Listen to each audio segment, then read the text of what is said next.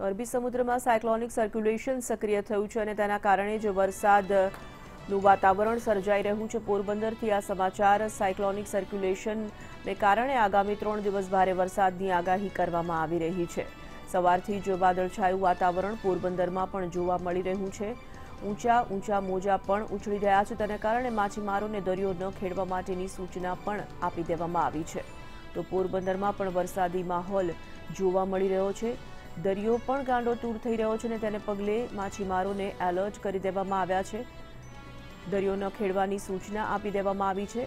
હજુ પણ ત્રણ દિવસ ભારે વરસાદની આગાહી હવામાન વિભાગ દ્વારા વ્યક્ત કરવામાં આવી રહી છે.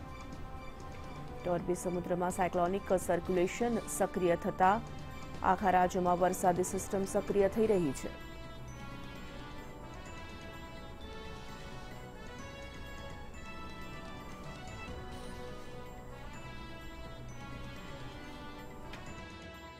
જી, જે પ્રમાણેની વાત કરવામાં આવે, અરબ સાગરમાં હિકા વાવાઝોડું જે છે તે સક્રિય થયું છે. તેને લઈને હાલ અમે પોરબંદરની ચોપાટી ખાતે છીએ. વાવાઝોડાને લઈને ગુજરાતના તમામે તમામ દરિયાકાંઠા ઉપર આઠ નંબરનું સિગ્નલ જે છે તે લગાવી દેવામાં આવ્યું છે. એટલે કે તમામે તમામ લોકોને સુરક્ષિત સ્થળ ઉપર રહેવું, સાથે જ માછીમારોને પણ સૂચના આપી દેવામાં આવી છે કે દરિયામાં ન જવું તે સૂચના આપી દેવામાં જેના કારણે પોરબંદર અને પોરબંદરના દરિયાકાંઠે તમામે તમામ જે બોટો જે છે, જે ફિશરમેનો છે તે પણ આવી ચૂક્યા છે.